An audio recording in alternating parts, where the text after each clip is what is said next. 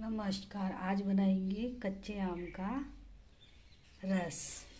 ठीक है? इसका क्या करना है हमको?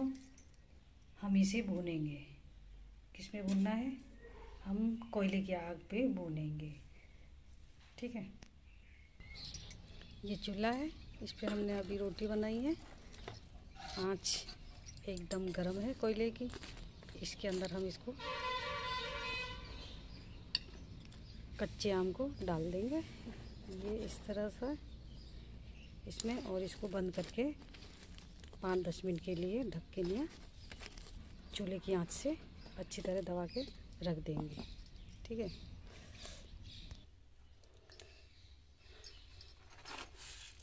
तब तक भूनता है चूल्हे पे कच्चा आम। तब तक हम तैयारी कर लेते हैं और। ठीक है?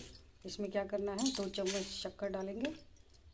और एक गिलास जितना पानी, जिससे कि शक्कर घुल जाए अच्छे से। इसमें हम क्या करेंगे? थोड़ा सा ये पुदीना है सूखा, दो चुटकी जितना, इसमें डाल देंगे। और ये जीरा है भुना, इसको भी डाल देंगे। ये थोड़ा हमने अच्छे से मसल लिया है, इसको हम मिला देंगे। ठीक है? तब तक कच्चा आम भुनता है। तब तक तब तक हम इसको घोल लेते हैं। ठीक है? अब इसमें क्या करना है हमको? घुलने के बाद थोड़ा सा काला नमक थोड़ा सा वाइट नमक जो अपन खाने में इस्तेमाल करते हैं, वो डालेंगे। ये सादा नमक है। स्वाद अनुसार अपने आप डाल लेंगे ये थोड़ा काला नमक है। इसे अच्छे से मिक्स कर लेंगे। और देखते हैं कच्चा आम पकाए कि नहीं चूल्हे देखते हैं बुनाए कि नहीं, ये देख।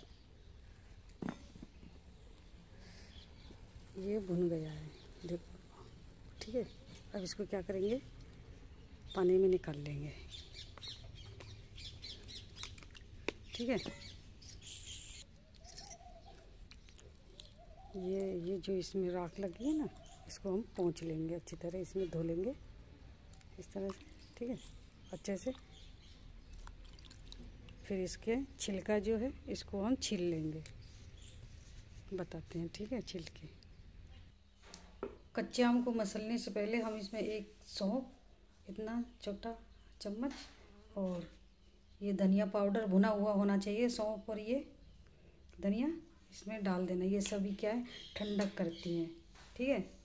अब इसमें हम ये जो आम है ना, ये निकाला है, कच्चा आम, इसको इसमें मसल लेते हैं, ठीक है?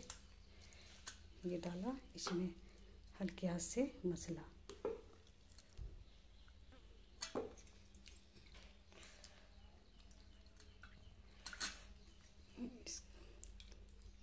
ये आसानी से मिल जाता है, ठीक है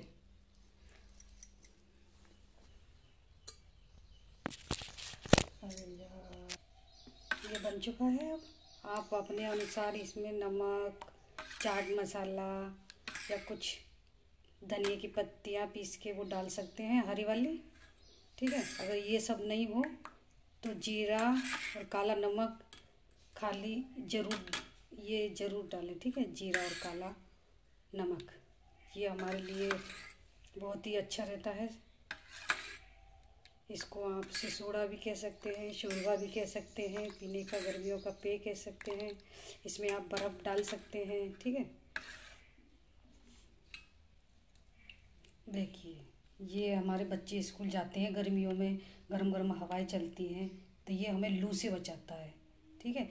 ये बहुत ज़रूरी है बच्चों के लिए, गर्मियों में ज़रूर बना के पिलाएँ बच्चों को। कम से कम महीने में एक दो बार। बहुत ज़रूरी होता है। इससे हम लू नहीं लगेगी किसी को, ठीक है? किसी को अगर लू लग जाती है तो ये पे पिला दो, एकदम ठीक हो जाएगा। धन्यवाद। ये रेसिपी आपको कैसी लगी, हमें कमेंट करके ज़रूर बताएँ, ठीक है? और सब्सक्राइब अवश्य करें, वीडियो पूरा देखना लास्ट तक। और ये बनाना ज़रूर आप, ठीक है? अगर आप कमेंट करेंगे तो हमें पता चलेगा आपको ये रेसिपी अच्छी लग रही है। ठीक है? सब्सक्राइब ज़रूर करना ताकि पूरा वीडियो जो भी सबसे पहले आपको बनाते हैं हम, वो वीडियो पहले आप तक पहुँच जाएगी धन्यवाद।